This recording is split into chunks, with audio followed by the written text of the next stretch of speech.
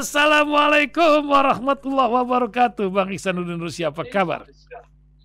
Waalaikumsalam warahmatullahi wabarakatuh. Ah, Baik. Alhamdulillah. Tiap hari itu subuh tuh kita baca doa kunut nazilah ya. Juga sholat-sholat lima Iya, iya. waktu melihat eh, saudara-saudara kita di Gaza ini luar biasa. Hari ini baru saja saya bacakan berita Hamas setuju dengan gencatan senjata, tapi nampaknya belum sampai pada tindakan di lapangan. Apa yang Bang Ihsanuddin Nursi lihat ketika Amerika hari ini juga mengabarkan pertama kali tidak mengirim senjata ke sana? Apakah tekanan rakyat Amerika dari puluhan kampus, hampir 100 kampus diikuti dunia lain, ini menyebabkan sebuah keputusan bendera yang paling banyak dikibarkan di dunia sekarang nampaknya bendera Palestina. Mungkin jadi awal kisah kita pagi ini Bang Nuim, maaf Bang Nuim lagi, Bang Ihsanuddin Nursi ya. Sebelum kita berbincang tentang dalam negeri, kita juga tahu ada PLTU batu bara yang ditutup, tapi di balik itu nampaknya ada ikhtiar untuk eh, mengeruk dana internasional. Juga 3,6 juta ton beras bakal didorong import lagi di tengah alasan cuaca. Lantas ada 18 bandara, tak gimana ini bikin bandara internasional. Nah, tak tahu sekarang harus ditutup. Terakhir lagi masalah orang toksit. Ini orang toksit itu yang mana nih? Katanya ada menteri atau man- macam mana pula nih menteri serba bisa ini mengatakan toksit terhadap orang-orang di Indonesia. Silakan Bang Ihsanuddin Nursi. Hmm. Bismillahirrahmanirrahim. Subhanaka la ilma lana illa ma 'allamtana innaka antal alimul hakim. Rabbana zidna ilman warzuqna fahman. Yang pertama kita bicara dulu eh, Harvard Hmm. yang memulai Hmm. diikuti dengan Stanford, diikuti dengan Princeton, Hmm. lalu diikuti dengan beberapa kampus lain. Jadi dimulai dengan kampus-kampus ternama. Hmm. Bahkan polisi mengambil tindakan sampai eh, betul-betul eh, menggugah rasa kemanusiaan karena yang dihadapi adalah profesor, yang dihadapi adalah para wanita, Hmm. para perempuan yang memprotes seperti itu. Hmm. Tapi itu justru memicu Hmm. sampai sang profesor teriak-teriak, I am the professor, I am the professor. Dan ternyata polisi tidak peduli karena mereka berpihak dalam kebijakan Joe Biden yang memang eh, mendukung eh, yang mendukung Benjamin Netanyahu Eh, dan dampaknya menjadi eh, seluruh dunia terpanggil terpanggil untuk ikut demo, terpanggil untuk melihat apa yang disebut dengan kemanusiaan dan keadilan. Ini kata kunci, saya kira. Kata kuncinya adalah dunia terpanggil untuk bicara kemanusiaan dan keadilan. Karena 34 ribu.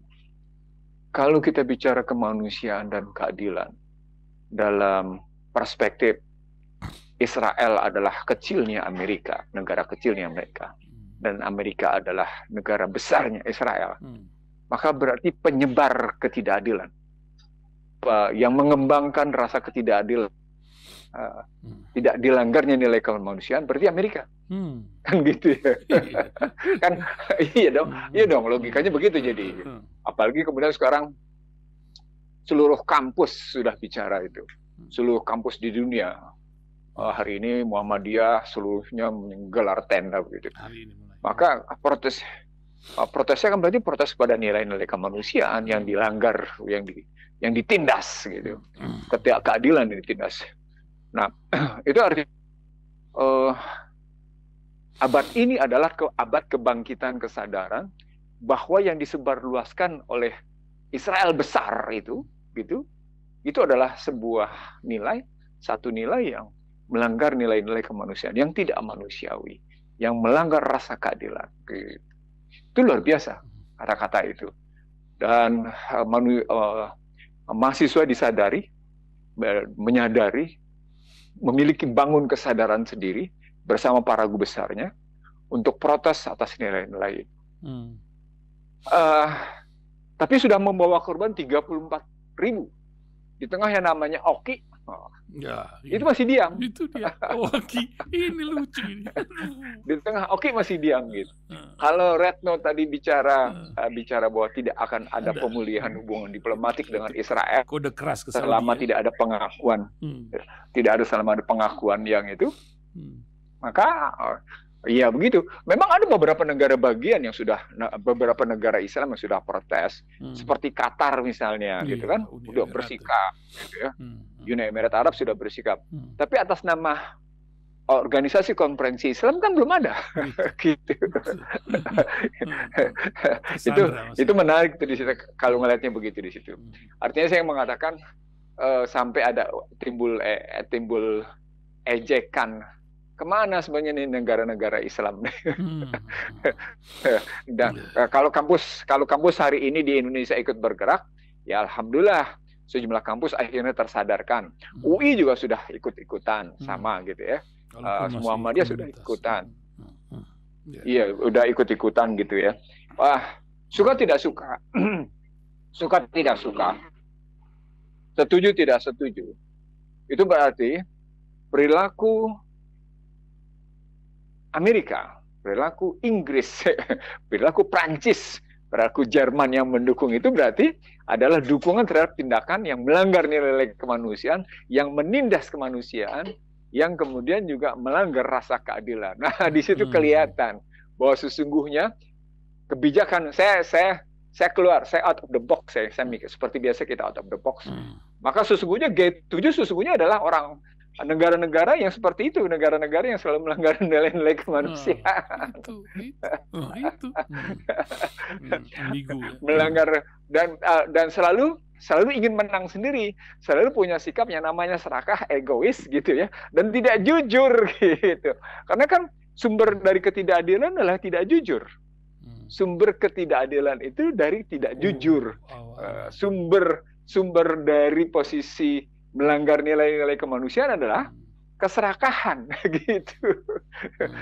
Jadi sesungguhnya mereka yang serakah, mereka yang tidak jujur, sehingga perilakunya melahirkan pelanggaran terhadap nilai kemanusiaan dan tidak, uh, terhadap keadilan. Hmm.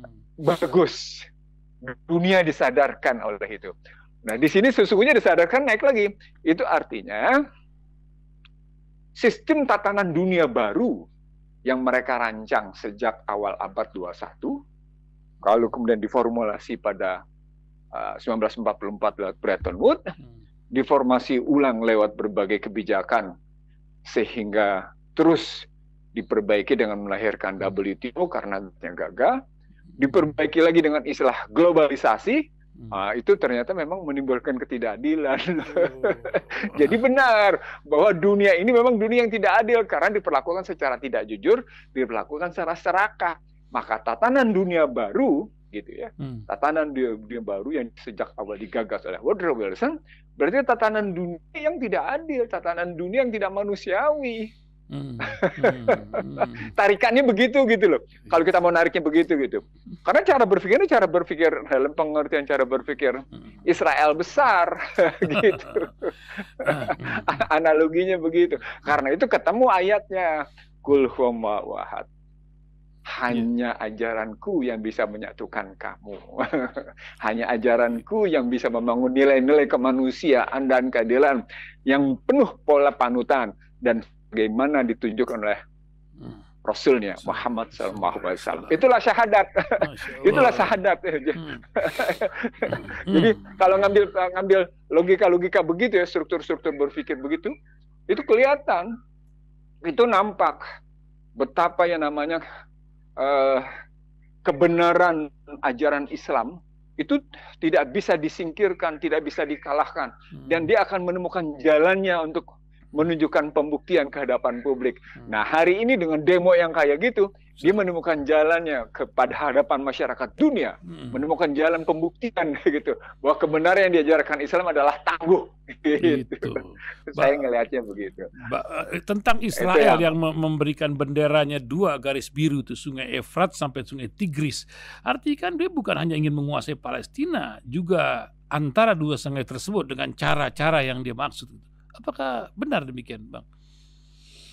Uh, kalau model mereka kan memang modal aneksasi. Oh. Hmm. Modal mereka kan memang modal aneksasi. Jadi Hmm. setelah mereka uh, kalau terhadap tanah Palestina mereka okupasi namanya, Iya. uh, begitu mereka berhasil okupasi pada wilayah utama, Hmm. maka dalam bahasa yang lain mereka akan aneksasi. Hmm. Di situlah sebenarnya uh, uh, uh, uh, kemarahan yang Putin itu marah, Hmm. Putin itu marah kepada NATO Iya. itu karena uh, NATO terus merangsek gitu ya, Iya. merangsek habisnya namanya Rusia. Nah sementara NATO terpancing karena Putin menganeksasi Crimea. Hmm. Tapi kalau cerita Crimea itu Hmm. karena memang asal muasalnya tanah Rusia gitu. Hmm. Perdebatannya begitu gitu kalau mau Betul, diambil real begitu. gitu. Nah, Hmm. nah, itu kan aneksasi dalam bentuk fisik ya, Hmm. Hmm. okupasi dalam bentuk fisik. Hmm. Saya ingin naik lagi sedikit, ah Pak Santalif. Saya ingin naik lagi sedikit supaya kita kita bisa berbagi pemikiran ke pendengar Rasil dan pemirsa Rasil TV. Saya ingin naik sedikit. Silakan. Model aneksasi, model okupasi seperti ini, itu dijalankan oleh Israel besar melalui teknologi yang namanya teknologi ICT. Uh. Jadi eh, eh, sekarang coba lihat, Hmm. Hampir hampir tidak ada orang yang tidak pegang HP di dunia kan? Hmm.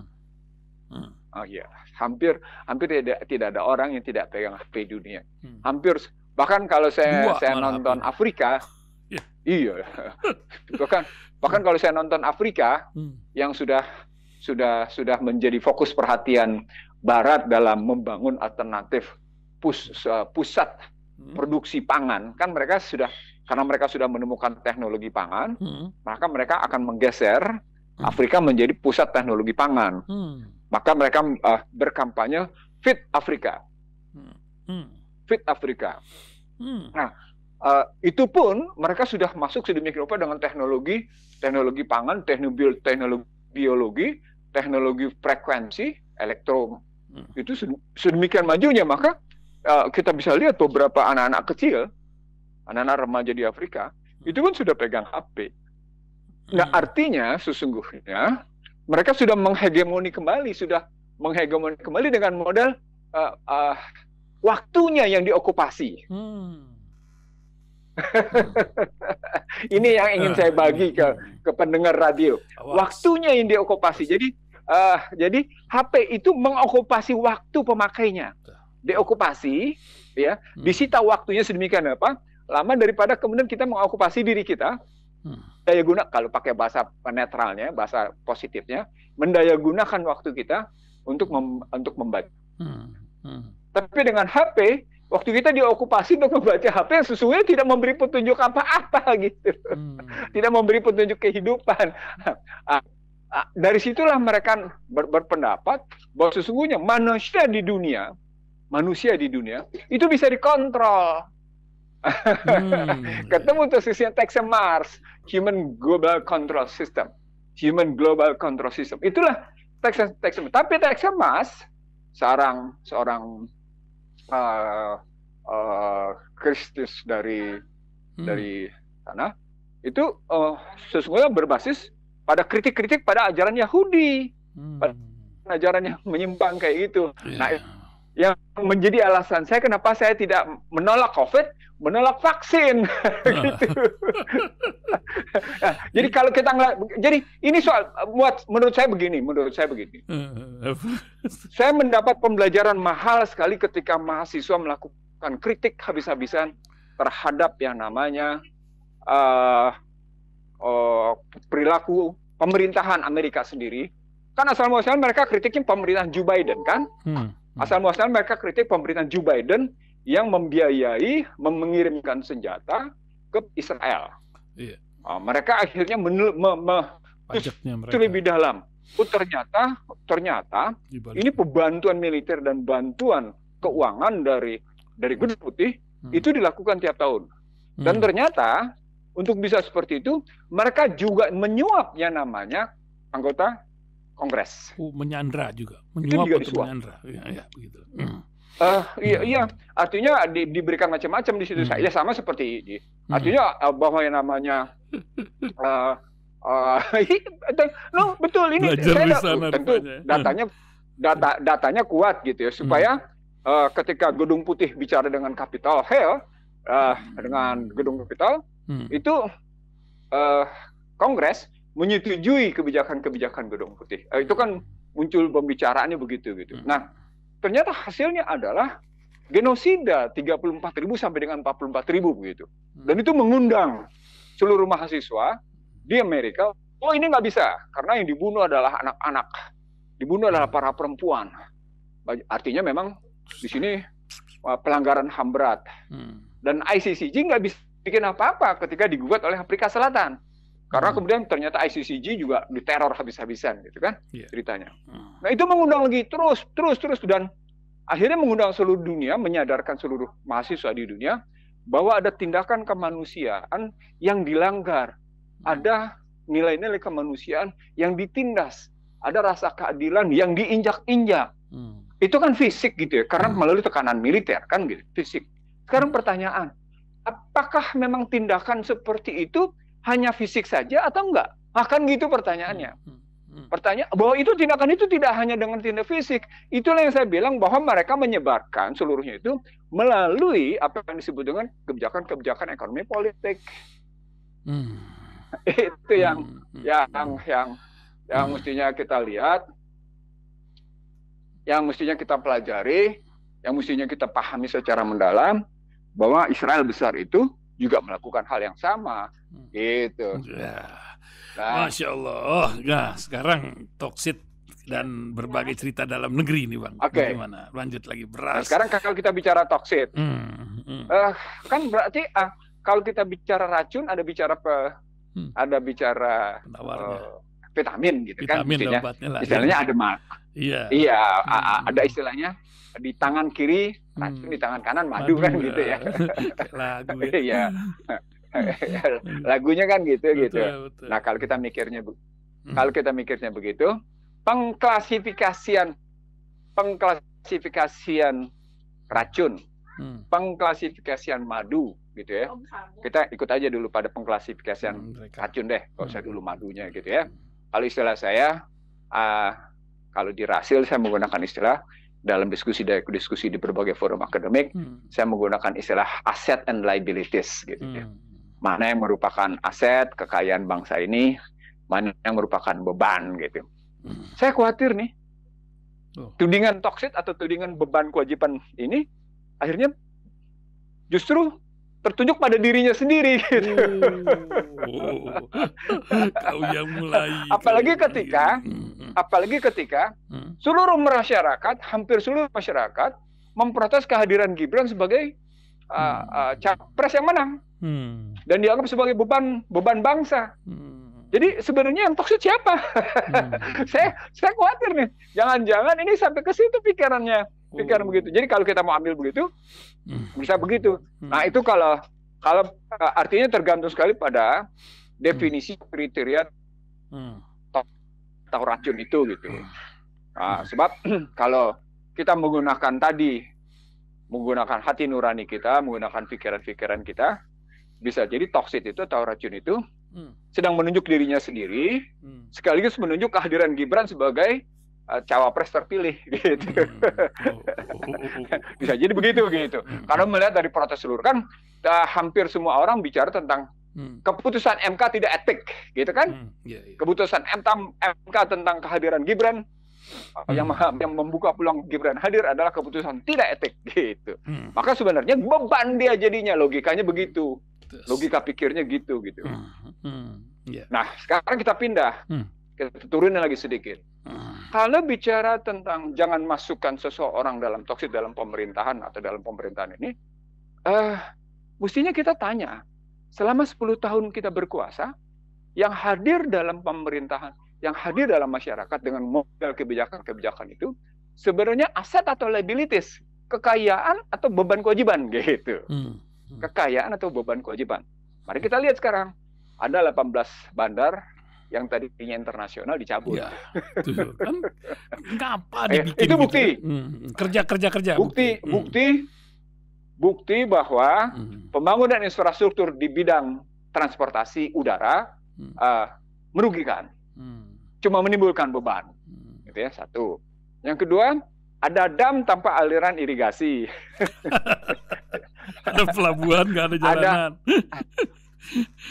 iya, ada atau jalanan.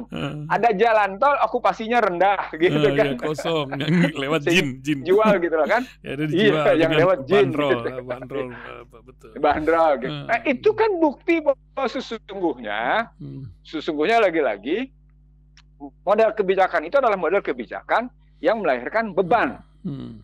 Kan melahirkan beban. Nah, sekarang siapa pembuat kebijakan kan gitu. Hmm. Jadi sebenarnya kalau kajian uh, dalam dalam etika kajian saya, saya tidak suka bicara tentang who, tentang siapa. Saya tidak nyaris hampir Hmm. saya tidak pernah menyebut tentang who. Saya lebih saya lebih bicara tentang tentang what and why-nya daripada saya bicara who-nya gitu. Nah, Hmm. Tapi karena bicara tentang jangan masukkan seseorang sebagai toksik, sebagai racun, maka jelas pembicaraannya seseorang. Nah, ketika seseorang kita ambil aja dulu kebijakan. Siapa Hmm. pembuat kebijakan-kebijakan kayak gitu? Nah, sekarang kalau di- di- itu diingatkan pada Prabowo Subianto agar tidak memasukkan orang, kan maksudnya ini rekrutmen menteri ini maksudnya kan. Hmm. ya betul dan Jadi maksudnya yang di Hmm. yang dimaksud oleh yang namanya itu Hmm. rekrutmen menteri gitu ya. Hmm. sesungguhnya kalau kalau dibilang rekrutmen menteri kayak gitu, ini totalitas ada pada Prabowo Subianto. Maka ketika Gibran, Raka, Buming Raka Hmm. akan membicarakan soal menteri kepada Megawati Soekarno Putri dan tokoh-tokoh di PDIP menyatakan Beroposisi. membicarakan menteri itu ada di presiden, bukan Hmm. di wakil presiden. Hmm. Lu siapa katanya?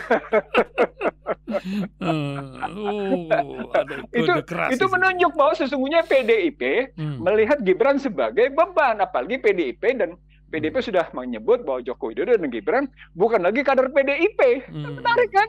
Betul, betul. Menarik di situ. Hmm. Dan ini bukan ini bukan saya nggak saya tidak masuk dalam kancah pemikiran politik pragmatis atau politik praksis gitu ya. Hmm. Saya nggak mau masuk di situ. Hmm. Eh, saya ingin masuk ke dalam sebuah ka- kan- kancah yang sesungguhnya berpikirnya melihat fakta tapi kita ambil Hmm. eh, dengan kacamata yang objektif, kacamata keilmuan yang yang Hmm. netral begitu kita ngambilnya. Hmm. Nah, Eh, dengan begitu ketika kita bicara toksit kita mesti tahu kita bikin dulu klasifikasinya. Hmm. Nah, Hmm. Mestinya kita punya contoh siapa yang disebut tok- toksit. Nah, Hmm. Kalau saya menyebut Hmm. yang disebut dengan toksit adalah kalau saya Hmm. yang disebut dengan toksit adalah Hmm. pengkhianat dan penjilat. Kalau saya, Iya, persepsinya gitu. kalau saya Susah, begitu kan gitu. Kita bikin aja begitu persepsi. gitu. Iya. Ah, Hmm, hmm, Sementara sementara ada pihak yang pernah bicara tentang ijazah palsu, Hmm. makanya kemudian dia diberhentikan. Kan bisa jadi begitu kan? hmm. Oh ini toxic nih jangan-jangan nih gitu. Sementara ada orang yang pernah per- pernah pernah menjadi yang namanya eh, terbeban kardus durian gitu. Ini kan toxic. Hmm. Sementara kan Ganjar yang terkena kasus 500 ribu, terkena kasus Wadas, Hmm. terkena kasus Hmm. eh, eh, Hmm. EKTP, kasus Wadas, gitu ya. ceritanya. Kasus- Hmm. terkes macam bisa jadi juga toxic. Jadi artinya pengertian toksiknya terlampau luas kalau Hmm. kalau ah, setiap orang dianggap yang tersandera karena kasus korupsi dianggap toksik gitu, Hmm. Hmm. dianggap racun. Berarti kan semua orang terkena jadinya. Hmm. Hmm. Berarti eh, Julhas juga terkena dong. Tidak boleh masuk dong. Hmm. karena Oke. eh, eh, karena eh, asyhadu alla ilaha illallah ketika sholat bukan satu tapi dua jari gitu. Iya. ya kan toksik dong. Berarti Julhas betul. juga kena dong. Begitu Erlangga Hartarto terkena juga dong berarti. Hmm. Nggak boleh juga dong berarti. Gitu loh. Kalau kalau toksiknya itu adalah itu gitu. Jadi artinya mari diklasifikasikan dulu yang disebut dengan toksiknya apa. Hmm. Kalau uh, toksik ukuran adalah suka tidak suka, kayak yang saya tidak sukai, Hmm. nggak usah lah. Nah, itu toksik ya, itu nggak benar. Hmm. Tapi kalau toksiknya adalah kasus-kasus yang membebani masyarakat, betapa banyak orang-orang yang ada di sekitar Prabowo tidak bisa masuk dalam duduk Oh, di menteri. Itu tergantung klasifikasi, tergantung Hmm. definisi yang dibangun gitu. Hmm. Sekali lagi, Iya. jangan-jangan tudingan kita terhadap orang lain sebenarnya kita sedang menuding diri kita Hmm, gitu. itu, itu. Khawatirnya begitu. Oke, Ya, sekarang balik ini. lagi satu lagi kasus. Satu masalah ini, masalah strategi menteri menteri keuangan ini lincah kali nih karena dia bikin statement untuk memensiunkan batu bara 660 megawatt. Gede nih. Tapi di balik itu ada cerita akan minta dana dari internasional untuk program ini. Kan ujung-ujungnya kan PT lagi, duit lagi gitu. Ah, Utang, eh, utang, ini utang. hutang lagi. Nah, ini di balik PLTU kan banyak juga bohir-bohir politisi atau eh, oligarki yang hidup besar dari sana gitu. Bagaimana Bang melihatnya? Hmm. Eh, memang Halo? Halo? dalam kampanye energi bersih, halo, Ya, lanjut Bang. dalam Tadi. kampanye Hmm. dalam kampanye global climate change, Hmm. Amerika sudah memutuskan penghentian penggunaan batu bara pada 2035. Hmm. Dan sebenarnya sudah masuk dalam agenda Indonesia bahwa sejumlah pembangkit listrik di Indonesia memang tidak akan menggunakan batu bara karena ikut derap irama global Hmm. climate change. Oh. Padahal yang disebut dengan global climate change itu, gitu ya, Hmm. eh, ya kalau dalam bahasanya Hmm. dalam bahasanya kaum intelek di Amerika itu bagian dari shock doktrin, Hmm. bagian dari doktrin doktrin mengejutkan, doktrin menimbulkan rasa ketakutan, sehingga dengan begitu Anda membeli perlindungan. Hmm. Itu tesis besarnya begitu dan itu diprotes sebenarnya. Hmm. Ya, beredar juga isu tentang apa yang disebut dengan climate change. Eh, pada hakikatnya eh, bagian dari geoengineering dilihat gambarnya. Hmm. Nah, dalam konstruksi misalnya 660 eh, Hmm. kilowatt di batu bara sebenarnya eh, memang bagian dari proyek menjual utang karena Hmm. setiap tingkat suku bunga murah kan menjual teknologi nantinya Iya. menjual teknologi menjual duit jadi ada beberapa yang dijual Hmm. dijual teknologi dijual utang dijual eh, keahlian ada tiga minimal dengan begitu anda tetap belanja gitu loh jadi di balik isu global climate change memang tujuannya belanja anda diminta belanja kalau nggak bisa belanja karena nggak punya duit lo pinjem memang itu tujuannya Hmm. nah sebenarnya ketika kita bicara tentang penggunaan batu bara Hmm. Nah, ini menarik nih Nah, nah. baik Pertamina Hmm. baik PLN Ya. baik SDM Ya. itu sudah tahu PLN berbasis batu bara, Hmm. karbonnya, asapnya Betul. itu bisa di capture, bisa ditangkap dan itu bisa menghasilkan energi baru dan itu bisa menghasilkan pembangkit listrik lagi. Mereka udah tahu itu. Oh. Mungkin Menteri Keuangan belum tahu, mungkin Menteri Oh. Keuangan belum tahu. Kita anggap aja nggak tahu ya. Kita anggap aja nggak tahu ya. Hmm. Hmm. Kalau yang namanya PLN sudah dikasih tahu, eh asal anda tahu ya katanya, Hmm. pembangkit listrik anda di Muara Karang sana Hmm. itu bisa menghasilkan gitu ya Hmm. 27.400 ton Hmm. Hmm. karbon gitu ya setiap anda membakar batu bara katanya dan itu bisa melahirkan Hmm. energi baru dan bisa melahirkan pembangkit listrik baru katanya sehingga Betul. yang namanya udara bersih terjadi pembangkit listrik juga bersih katanya itu Hmm. sudah disampaikan ke PLN juga sudah disampaikan ke Pertamina dalam konstruksi jangan dong ah, renewable Hmm. energinya menggunakan sawit karena masih banyak yang lain gitu karena begitu Anda bicara tentang sawit, Nah. ketika bicara Anda bicara Ini, tentang yang namanya batu bara, Hmm. pasti berhubungan dengan orang kaya Hmm, gitu. itu, Tapi mereka lagi. kelihatannya Hmm.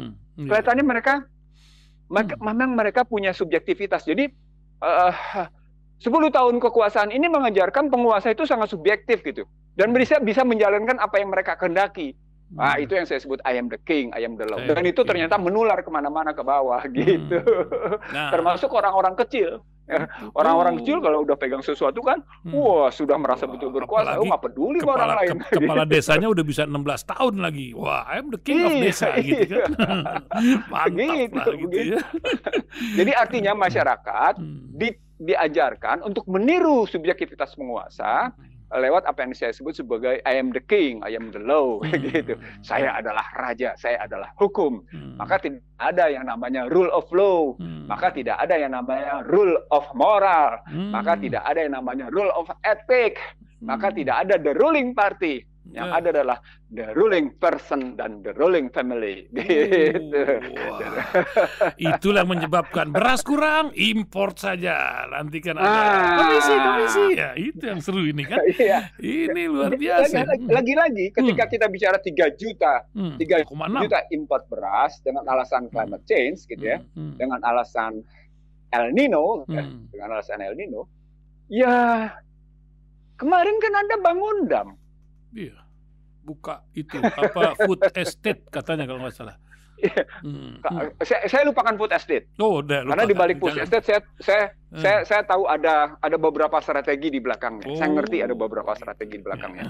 Eh, tapi juga strateginya bukan strategi yang terlampau baik buat hmm. Indonesia. Iya, iya. Hmm. Tapi lupakan aja dulu. Hmm. Kita lupakan dulu. Kita bicara tentang dam aja dulu. Hmm. Tentang ah, bendungan Hmm. air gitu ya. Kalau kita memang membangun bendungan air untuk kawasan-kawasan Hmm. yang akan memproduksi beras, Hmm. sesungguhnya kan udah dianggap selesai. Apa kemudian dam tadi belum tetap belum bisa mengairi persawahan? Kan Hmm. masalah jadinya. Hmm. Satu. Nah, Hmm. yang kedua, yang kedua problemnya. Kenapa yang bicara Menteri Perdagangan? Karena bicara bukan Menteri Pertanian. Kenapa Oh. yang bicara bukan Amran Sulaiman? Karena Yang mestinya bicara memang, oh iya produktivisi kita kurang Hmm. karena konsumsi kita tinggi gitu. Hmm. Mestinya Iya. Menteri Perdagangan Data, bicaranya data, bahkan ada bersama data. Menteri Hmm. Per- Menteri Perdagangan dan Menteri Perindustrian bicaranya bahkan tentang pentingnya Hmm. substitusi beras Hmm. gitu. Hmm. Jadi substitusi beras itu bisa kita berikan misalnya sepanjang kita bisa pasarkan. Kenapa Indomie ah sebut aja jadinya. Nah, Kenapa mie instan gitu. bisa bisa menjadi substitusi? Hmm.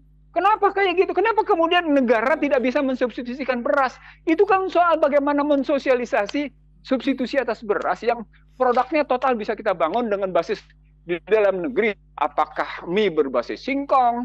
Apakah mie berbasis ubi? Apakah mie berbasis yang namanya tanaman-tanaman lain? betul. Itu Porang bisa dan gitu itu ya. sudah dilakukan oleh komunitas di Indonesia. banyak betul. Jadi sudah ada komunitas di Indonesia Hmm. yang mensubstitusi mie gandum Hmm. menjadi mie dengan sumber yang lain Nah, dan rasanya lebih enak nah. dan kualitasnya tidak kalah. Hmm. Gizinya jauh lebih baik dan tidak menimbulkan masalah bagi lambung. Kan gitu. Oh, gitu. Jadi ini ini ini soal lagi-lagi Hmm. ya ini mungkin soal pengetahuan kali ya. Hmm. Iya. Soal pengetahuan, soal kesadaran, Hmm. soal ujung-ujungnya soal keberpihakan. Hmm. Saya tidak tahu para petinggi itu sesungguhnya sedang berpihak kepada siapa.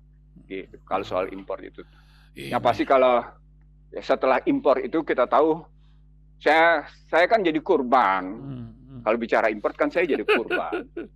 Hmm. Hmm. ya, Iya. kurban dalam pengertian yang lebih lebih dalam karena saya dibunuh, saya disiksa gitu oleh mereka. Karena saya ngajar impor itu gitu. Hmm. Iya, Ah, iya. logikanya gitu gitu ya. Hmm. Hmm. Nah, dari situ kita mesti tahu Hmm. bahwa yang namanya import itu selalu melahirkan cost push inflation secara Itu. ekonomi. Dari teknologinya, Hmm. dari segi keuangannya, Hmm. ini kan berarti Anda membutuhkan dolar.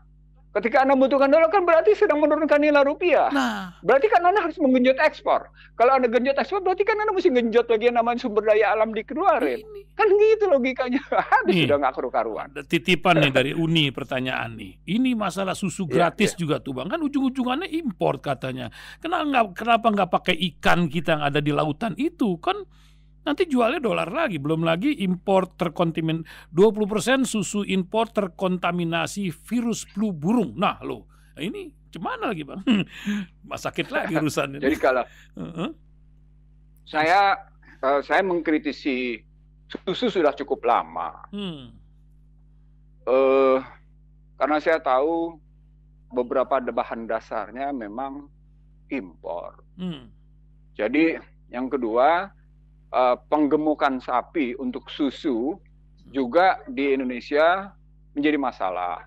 Untuk penggemukan daging saja bermasalah, apalagi susu gitu, sama aja. Hmm. Nah, ketika kita membicarakan susu gratis, Hmm. makan gratis, Hmm. maka tetap sumbernya impor. Hmm.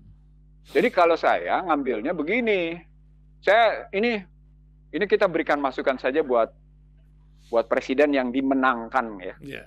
Bukan menang nih, dimenangkan. buat presiden yang dimenangkan dan juga yang akan bikin klub presiden. Yes salah. buat presiden yang dimenangkan, uh, kita kasih masukan aja. Tidak dibutuhkan makan gratis, walaupun itu mencontoh dari luar, dari mencontoh dari Inggris. Hmm Oh gitu. Tidak dibutuhkan yang nama itu mencontoh, walaupun itu sebenarnya kritik terhadap neoliberal dan tapi jangan salah, makan siang gratis itu kan seperti pernah kita sampaikan di radio ini, hmm. itu jawaban dari no freelance.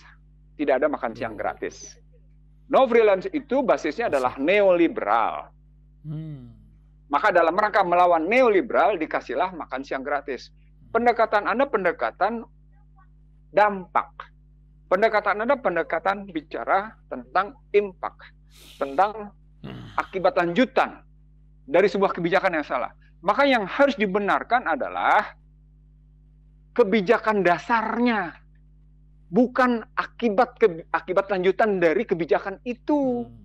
Gitu yang mestinya yang mestinya kita bahas. Hmm. Jadi saya tidak tahu uh, uh, ya boleh saja Tony Blair jumpa dua kali, tapi saya yakin Tony Blair bicaranya juga bukan cuma bukan soal makan siang gratis gitu ya. Hmm. Cuma memang ini kan diambil dari cara-cara neoliberal, kegagalan neoliberal sehingga mereka langsung mengcounter dengan uh, dengan makan siang gratis. Padahal di belakang ini adalah masalah impor karena ketiadaan produksi yang cukup yang memadai untuk memenuhi konsumsi. Hmm. Artinya sesungguhnya kalau kita bicara kebijakan mendasar, maka kita bicara di perencanaan pembangunan. Hmm. Kalau kita bicara pembangunan dalam tahunan bicaranya di APBN. Nah sudah lima tahunan yang salah, APBN-nya disalokasi. Baru kemudian kita bilang ya sudah kita kasih makan siang gratis. Coba, coba logika kebijakannya benar nggak tuh kalau kayak gitu tuh? hmm. Hmm. kita urut aja logika kebijakannya benar apa nggak? Ini teman-teman neoliberal kan udahlah, biarkan saja itu hidup berdasarkan mekanisme pasar bebas kan begitu. Oh, yeah. oh lalu mereka hmm. bilang ada seorang ekonom berjilbab hmm. dengan menyebut, udah nggak ada urusan dengan free market mechanism katanya. Ini memang free market mechanism itu memang biasa kok dalam dalam ekonomi. Hah? Nah. Ekonom berjilbab ngomongnya begitu. Pak baca. hmm. Masya Allah. Hmm.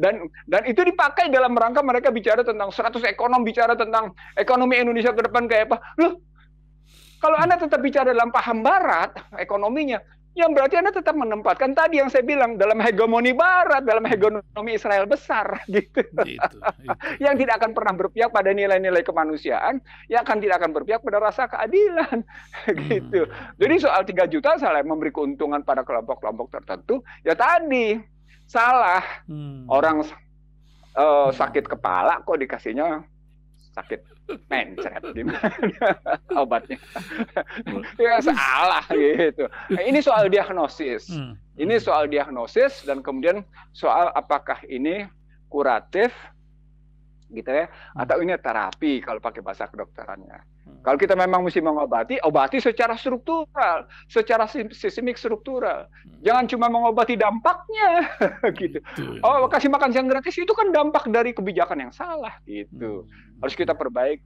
oh ini kan shortcut shortcutnya tidak begitu shortcutnya kita masih punya tanam-tanaman uh, umbi-umbian yang bisa menjadi substitusi atas beras oh, kalau kalau kalau susu gimana? Tadi benar.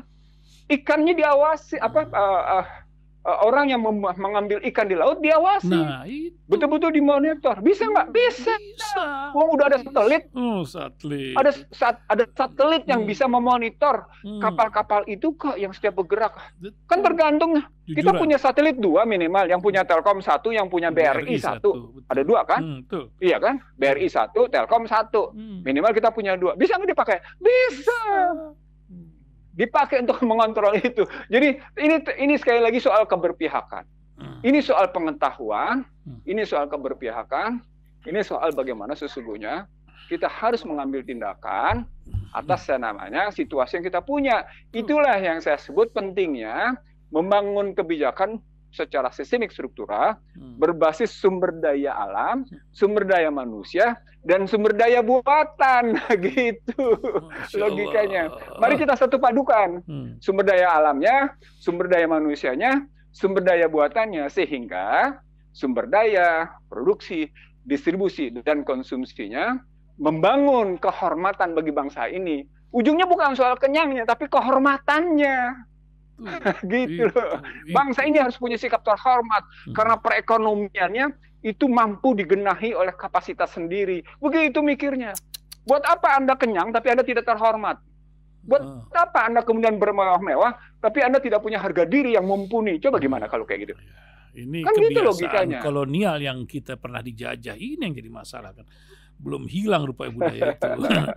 Masya Allah. Oh waktu juga nih Bang. Silakan Bang sebagai akhir-akhir bincang kita uh, pagi ini Bang. Hmm. Masya Allah. Hmm, hmm. Sudah pukul 8.45 juga ya.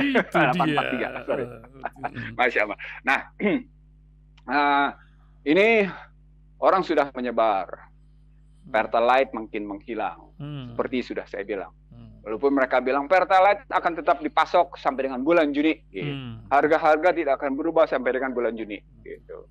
Satu. Listrik timbul tenggelam. Kedua, suka tidak suka, hmm. listrik naik. Hmm. gitu ya. Udah berat juga. Hmm. Yang ketiga, harga-harga kebutuhan pokok. Kuliah UKT lagi pada garuk iya, kepala. Kuliah. Bahkan ada sebuah universitas di Hmm. di di di, di Depok oh, gitu di ya. Depok. Uang reguler, uang masuknya hmm. 161 juta. Masya Allah. hmm. ya belum belum lagi kalau masuk ke dokteran gitu. Ya Artinya apa? Hmm. Lagi-lagi bukti inilah. Jadi gini loh cara pandangnya. Cara pandang sederhananya begini. Hmm. Ultra neoliberal adalah kebijakan di mana barang dan jasa publik dikomersialkan ultra neoliberal sistem adalah setiap barang dan jasa publik dikomersialkan. Namun masyarakat tidak sadar bahwa barang dan jasa publik yang tidak boleh tunduk pada komersi itu tapi berlaku secara komersial. Hmm. Dampaknya apa? Dampaknya adalah mereka yang merasa bekerja tapi sesungguhnya budak tidak merasakan sebagai budak. Nah, itu selama 10 tahun ini begini. Kenapa? Hmm. Karena hampir berbagai kebijakan itu diserahkan kebebasan pada pihak asing. Dan kita bangga dengan mengundang investasi asing. Kita bangga dengan segala macam asing, asing, asing. Hmm. Ini bukan sorry to say. Yeah. Saya pernah diajak oleh Di Gunadi Sadikin hmm. sebagai xenophobia, gitu lah. Hmm. Ah, Anda ini xenophobia. Dan jadi dalam satu debat tentang sistem pembayaran, uh, ketika dia masih menjadi dirut mandiri, hmm. gitu ya, masih menjadi asosiasi, ketua asosiasi kartu kredit, hmm. ketua asosiasi sistem pembayaran, dia menyebut kita ini tidak boleh xenophobia. Dia mau menunjuk pada saya kajian saya xenophobia, anti asing. No, saya tidak anti asing. Saya salam, bahkan saya sangat hangat berhadapan dengan pihak-pihak asing untuk duduk di Indonesia. Tapi jangan ngacak-ngacak dapur gua. Jangan ngacak-ngacak ruang gua.